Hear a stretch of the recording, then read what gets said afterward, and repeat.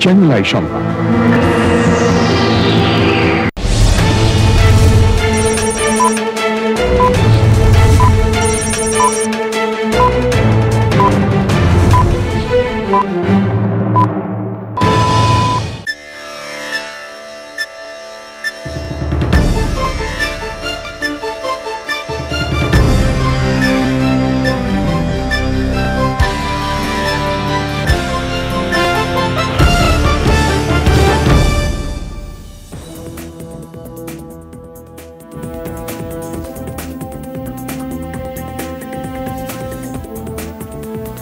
আসসালামু আলাইকুম, আমন্ত্রণ চ্যানেল সংবাদে। সঙ্গে আছে হৃদয় হোসেন। বিস্তারিত সংবাদে শুরুতেই জানিয়ে দিচ্ছি ফ্রেশ ড্রিঙ্কিং ওয়াটার। সংবাদ শিরোনামগুলো। আইএমএফ এর কাছে ঋণ সহায়তা চাওয়াকে ইতিবাচক বললেন অর্থনীতিবিদরা। শর্ত বাস্তবায়নের প্রভাব সুখকর না হলেও বিকল্প নেই মন্তব্য। আগামী নির্বাচন দু হাজার মতো হবে না বলে সিইসির মন্তব্য, ভোটে অর্থ ও পেশি শক্তি বন্ধে সামাজিক আন্দোলন করার আহ্বান।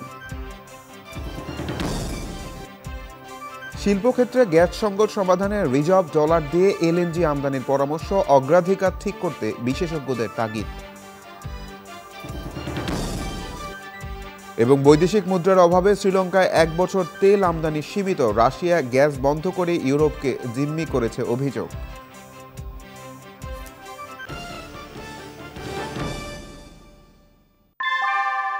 আমার জীবন এখন ফুরফুরা।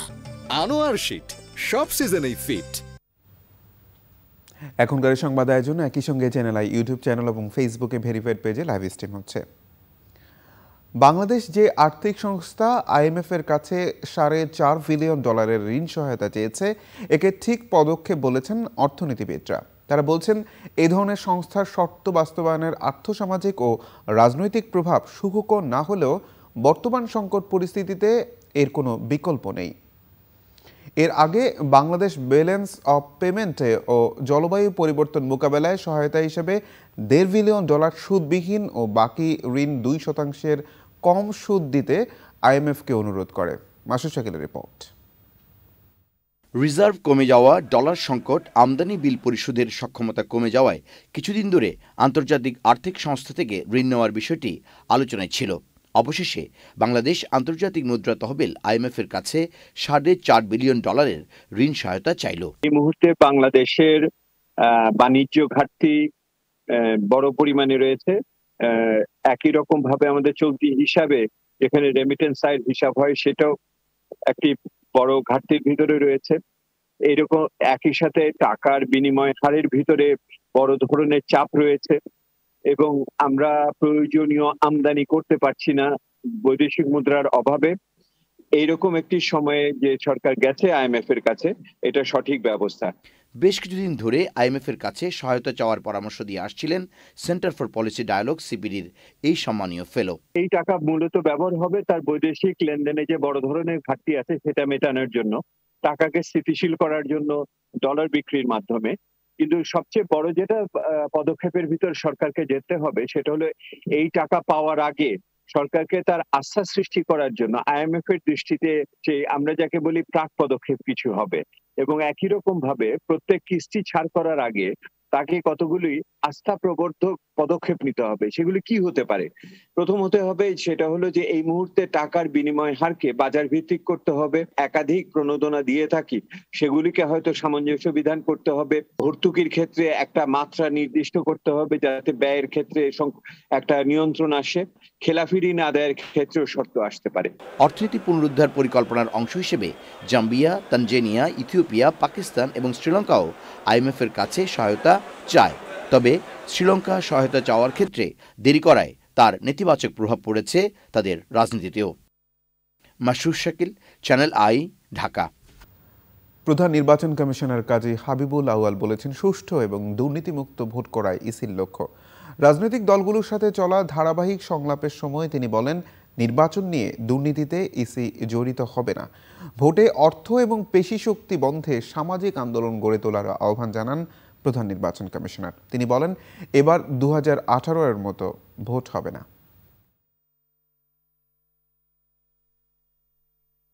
অপশক্তি পেশি শক্তি এই দুটার কথাও বলছেন অর্থশক্তি এবং পেশি শক্তি অর্থশক্তিকে কীভাবে সামাল দেব? আপনি আমাকে একটা বুদ্ধি দেন।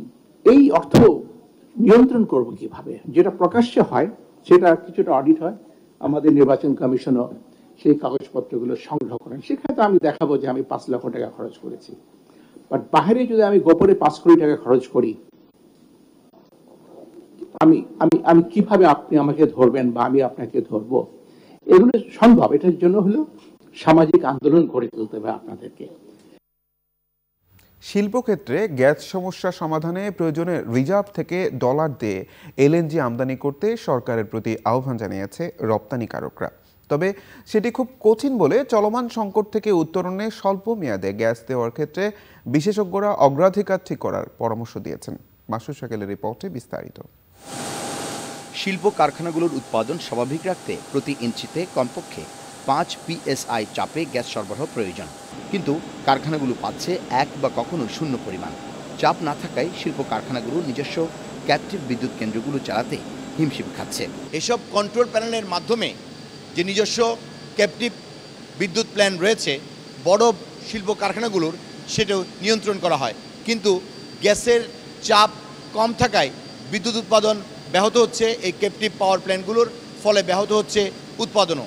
এমন অবস্থায় প্রয়োজনে রিজার্ভ থেকে ডলার নিয়ে এলএনজি আনার আহ্বান রপ্তানিকারকদের। আমাকে যদি পর্যাপ্ত গ্যাস এলএনজি আমদানি করে আমাকে যদি উৎপাদন পর্যাপ্ত দিতে পারে শিপমেন্ট হইতে পারে, তাহলে আমার তো এই এই যে ডলারের যে রিজার্ভ যেটা কমেছে, এটা আবার ফিল হয়ে যাবে।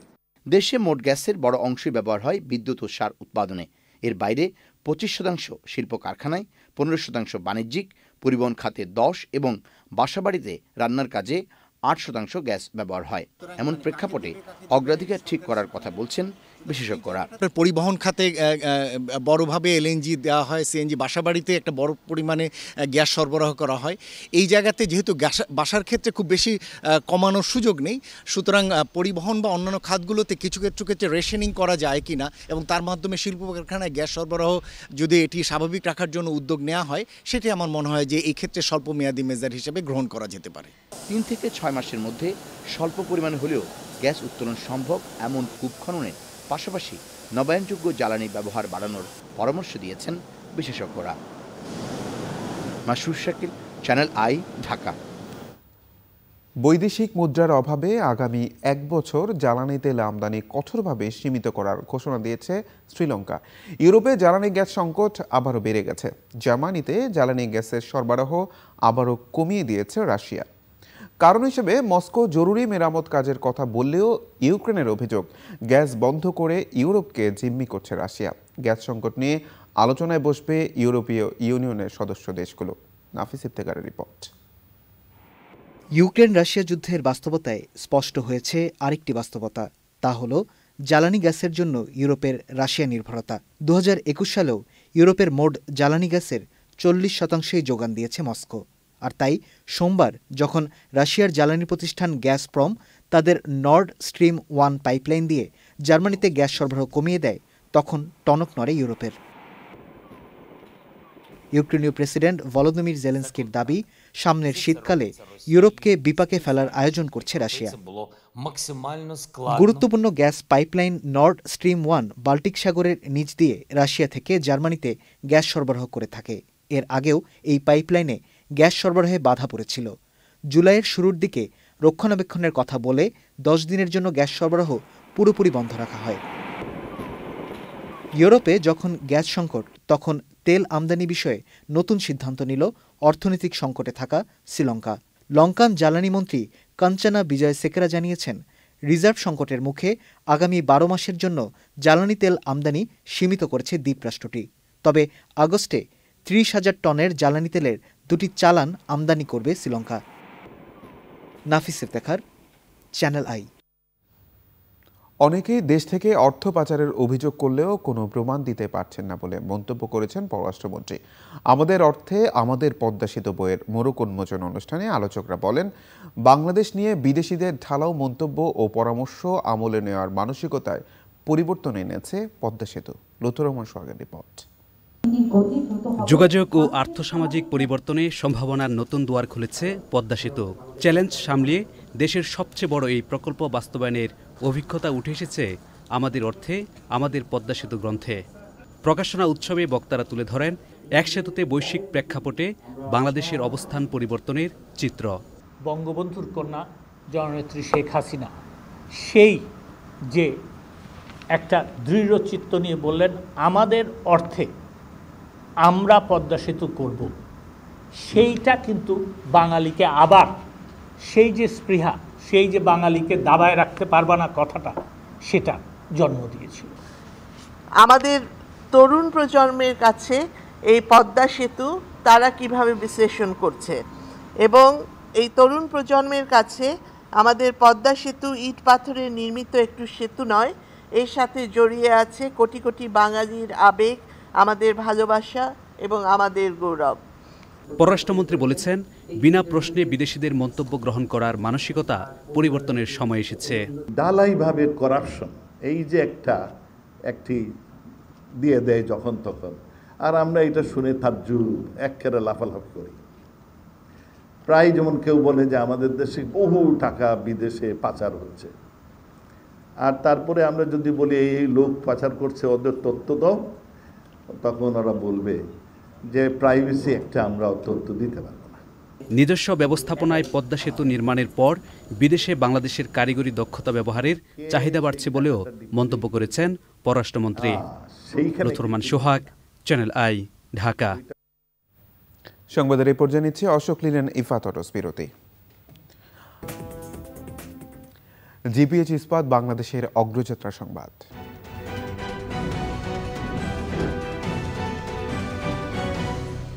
বুঝছি স্যার। একদম ক্লিয়ার। সেরা আর বিশ্ব সেরার মধ্যে অনেক তফাৎ। সত্যই বাংলাদেশ অনেক আগায় গেছে। জিপিএইচ কোয়ান্টাম জান্নাতুন নাহার জান্নাত। এলাকার সবাই তাকে ভালোবেসে ডাকে শেখ হাসিনার জান্নাত নামে। তৃতীয় শ্রেণীতে পড়ুয়া জান্নাতকে কেন এই নামে ডাকা হয় সেই গল্পটাও অন্যরকম। জান্নাতের সেই গল্প জানাচ্ছেন সুলতান হিমু মাননীয় প্রধানমন্ত্রী আপনার জান্নাত আপনার সাথে কথা বলতে চায় মাননীয় প্রধানমন্ত্রী। জান্নাতের সাথে কথা বলব। কোথায় সে? কাজল দিঘির পাড়ে একসময় টিনের ঘরে থাকতো জান্নাতের পরিবার। তার বাবা রফিকুল ইসলাম পেশায় একজন ভ্যান চালক। স্বল্প আয়ের পরিবারে বেড়ে ওঠা জান্নাতের স্বপ্ন ছিল একদিন পাকা ঘরে থাকবে তার পরিবার। জান্নাতের সে স্বপ্ন পূরণ হয়েছে আশ্রয়নের ঘর পেয়ে। আশ্রয়ন প্রকল্পে ভূমিহীনদের ঘর দিচ্ছেন প্রধানমন্ত্রী। এই কথা জানতে পেরে তৃতীয় শ্রেণীতে পড়ুয়া জান্নাত নির্বাচনী পোস্টার থেকে প্রধানমন্ত্রী শেখ হাসিনার ছবি কেটে ঘরে সাজিয়ে রাখে। প্রধানমন্ত্রীর প্রতি জান্নাতের এই ভালোবাসা দেখে এলাকায় সে পরিচিত হয়ে যায় শেখ হাসিনার জান্নাত নামে। কথা জানতে পেরে তাকে প্রধানমন্ত্রীর ছবি উপহার দেয় জেলা প্রশাসন। আমি প্রধানমন্ত্রীর ছবি একটা মার্কাতে পাইছিলাম। সেই ছবিটা আমি পরে পাকা ঘরে লাগাইছি পরে ডিসি স্যার দেখছে পরে আমাকে এসে নিয়ে উপহার দিয়েছেন সাইকেল দিয়েছেন প্রধানমন্ত্রীর ছবি দিয়েছেন। আমি অনেক খুশি হয়েছি প্রধানমন্ত্রীর উপহার পেয়ে। আশ্রয়ন প্রকল্পের উদ্বোধনী কার্যক্রমে প্রধানমন্ত্রীর সঙ্গে ভিডিও কনফারেন্সে ভবিষ্যৎ লক্ষ্যের কথা বলে জান্নাত। মাননীয় প্রধানমন্ত্রী আমি বড় হয়ে ডাক্তার হতে চাই। গরিব দুঃখী মানুষের সেবা করতে চাই। নিশ্চয়ই তুমি ডাক্তার হবে এবং গরিব মানুষের সাহায্য করবা। সোনার বাংলায় সবাই আত্মবিশ্বাস নিয়ে এভাবেই এগিয়ে যাবে সেই প্রত্যাশার কথা বলেন Sheikh Hasina. Sultana Himu channel I Panchagarh. এবার ইন্ডিকেফে গ্লোবাল সিলসিলি সংবাদ।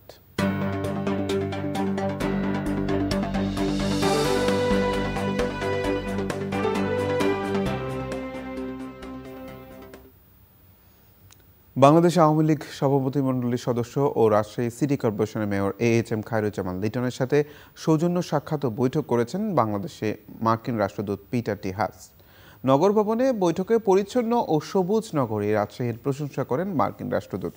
বৈঠক শেষে মেয়র খায়রুজ্জামান লিটন সাংবাদিকদের বলেন, বৈঠকে বাংলাদেশ ও যুক্তরাষ্ট্রের দুই দেশের দ্বিপাক্ষিক সম্পর্ক নিয়ে আলোচনা হয়েছে। সব মিলিয়ে অত্যন্ত ফলপ্রসূ আলোচনা হয়েছে। নগর ভবনে বৈঠকের শুরুতে মার্কিন রাষ্ট্রদূত পিটার হাসকে ফুলের শুভেচ্ছা জানান Rasik mayor A H M Khairuzzaman Liton. বৈঠক শেষে মার্কিন রাষ্ট্রদূতের হাতে সম্মাননা স্মারক ও উপহার সামগ্রী তুলে দেন রাশিক মেয়র। এবার নিটোলটাটা কৃষি সংবাদ।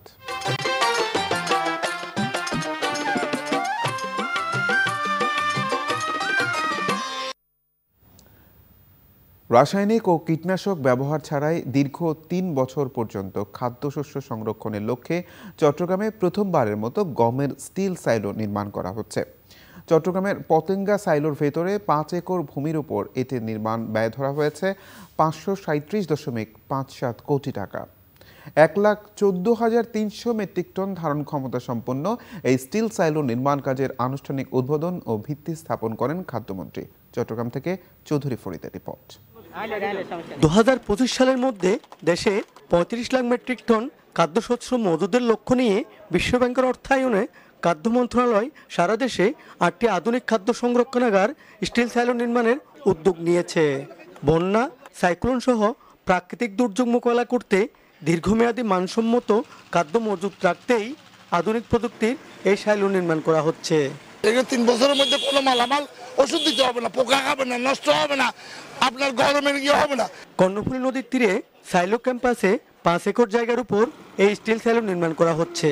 আর্দ্রতা ও তাপমাত্রা নিয়ন্ত্রণ করে কীটনাশক ও রাসায়নিক দ্রব্যের প্রয়োগ ছাড়াই নির্মাণাধীন আধুনিক সাইলোতে খাদ্যশস্য সংরক্ষণ করা যাবে যা প্রচলিত সাইলোগুলোতে সম্ভব নয়।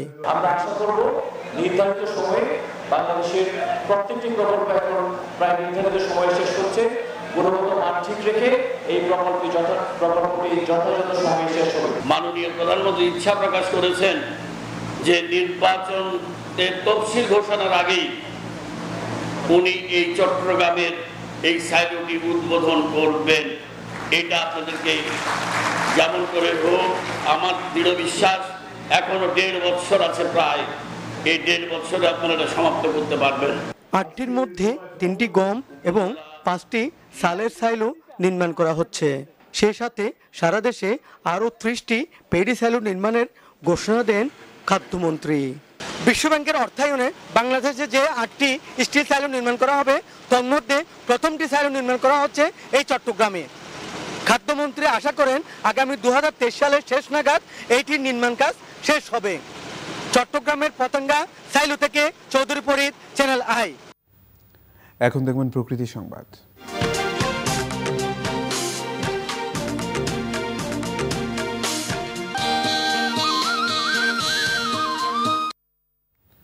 বিশ্বের অন্যতম প্রাকৃতিক মৎস্য প্রজনন ক্ষেত্র হালদা নদীতে একের পর এক বিপন্ন প্রজাতির ডলফিন মারা যাচ্ছে।